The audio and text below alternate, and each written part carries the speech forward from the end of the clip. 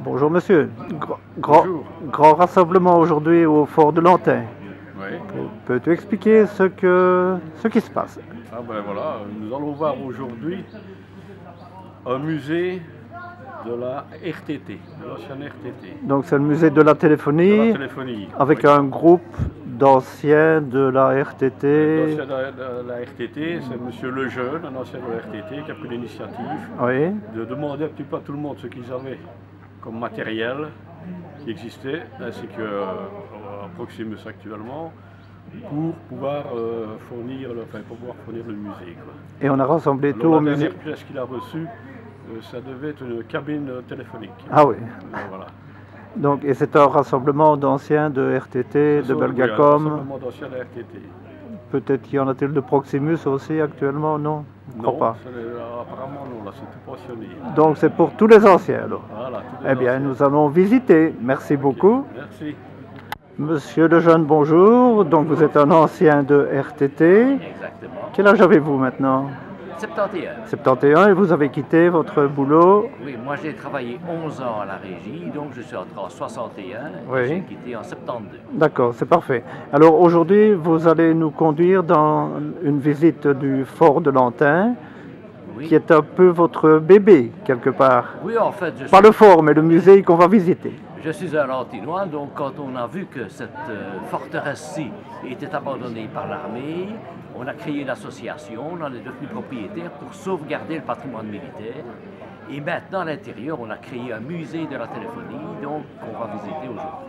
Comment avez-vous fait pour recueillir tous les, tous les objets qu'on va, qu'on va voir? Ah, ça, c'est la grande chaîne de solidarité des anciens.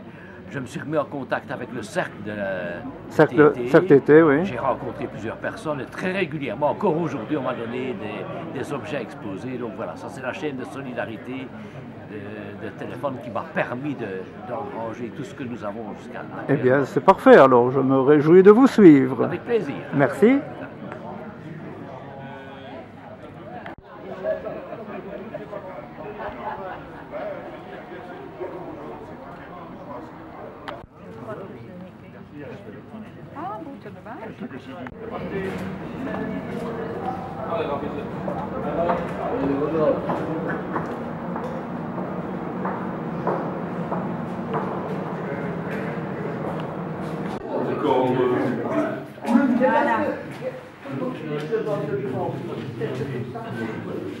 erbij. André, c'est moi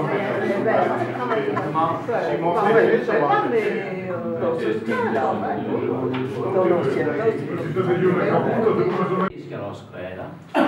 En fait, c'est la reconstitution du poste de commandement qui a été installé ici en 40. Donc le fort de Lantin, c'est un fort, vous avez vu la date, 1888. Ce sont les fortifications Briamont qui ont été faites dans les années donc, 1880, se sont terminées en 1892, et elles ont été actives en 1914. Donc, après 1914, on a réarmé tous les forts du côté de l'Allemagne, la rive droite de la Meuse, plus le premier fort sur la rive gauche, donc de l'autre côté. Ça faisait euh, vaste cercle. hein, c'était- des fortifications entourait toute la ville de Liège, il y en avait 12. Donc, on en a ré- réarmé 6 de l'autre côté, plus 2 ici. Et le fort de Lantin fait partie des quatre forts qui n'ont pas été réarmés, qui ont été abandonnés, qui ont été jugés inutiles dans la réorganisation de la défense après la guerre 14. Mais, particularité de Lantin, on y a reconstitué un poste de commandement. Le poste de commandement, c'était l'endroit où tous les officiers étaient. Ils étaient toujours en arrière du front, évidemment. On n'est jamais si bien servi par soi-même.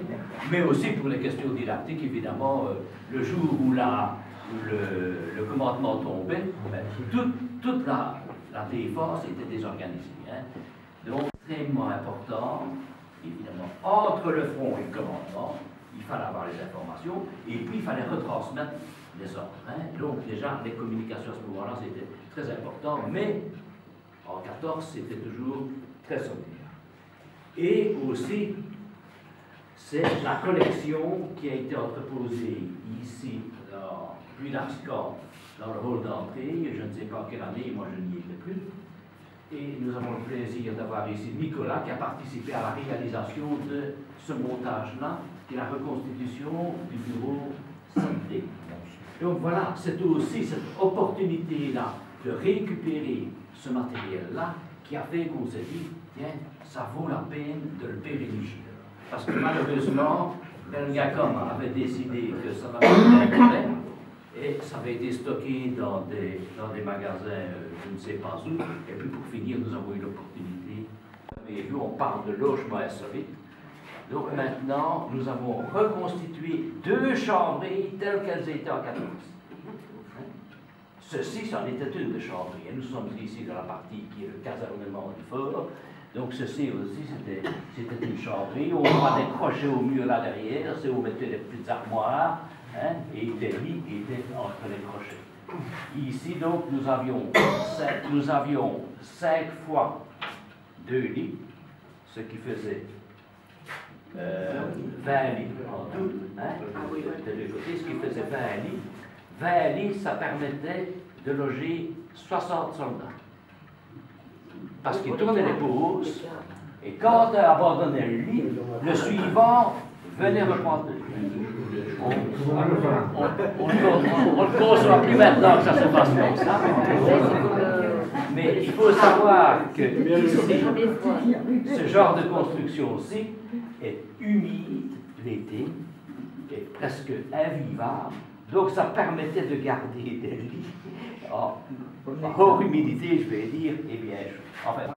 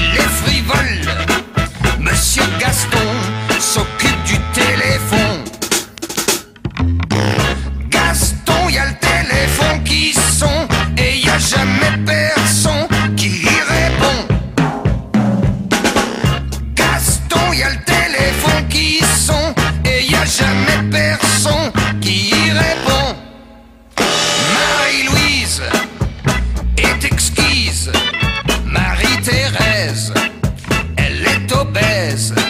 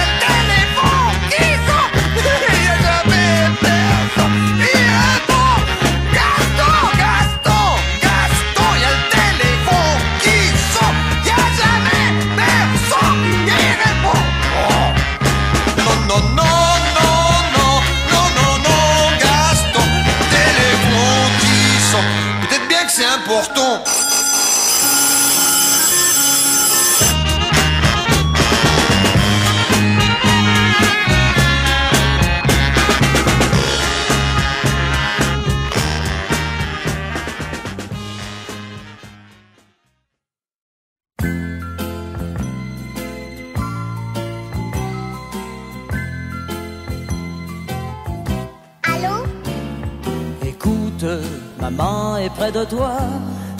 Faut lui dire, maman, c'est quelqu'un pour toi. Ah, c'est monsieur la dernière fois. Bon, je vais la chercher. Je crois qu'elle est dans son bain. Et je sais pas si elle va pouvoir venir. Dis-lui, je t'en prie. Dis-lui, c'est important. Mais il attend. Ma maman Elle me fait toujours des grands signes et elle me dit toujours tout bas, mais pour que je suis pas là. Raconte-moi comment est ta maison. Apprends-tu bien chaque soir toutes tes leçons? Oh oui, mais comme maman travaille, c'est la voisine qui m'emmène à l'école. Il n'y a qu'une signature sur mon carnet. Les autres sont de leur papa, pas moi. Oh, dis-lui que j'ai mal, si mal depuis six ans. Et c'est ton âge, mon enfant. Ah non, moi j'ai 5 ans. Mais dis, tu la connaissais ma maman avant? Pourtant elle m'a jamais parlé de toi. Tu restes là, hein?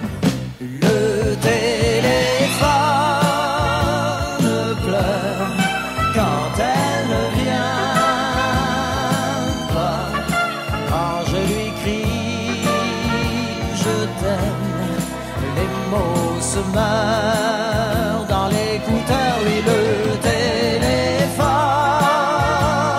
pleure, ne raccroche pas. Je suis si près de toi avec la voix.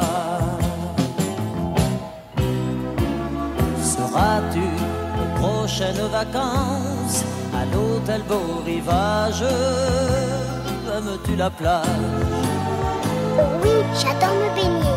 Maintenant je sais nager. Mais dis donc, comment tu connais l'hôtel pour rivage? T'y étais, toi, Sainte-Maxime Oh, dis-lui toute ma peine, combien toutes les deux, moi je vous aime. nous aime.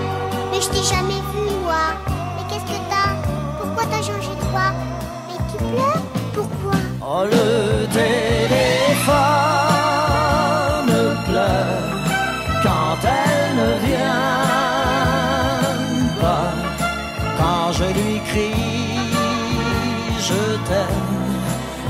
mots se meurent dans l'écouteur et le téléphone pleure. Non, ne raccroche pas. Je suis si près de toi, avec la voix, dis écoute-moi, oui le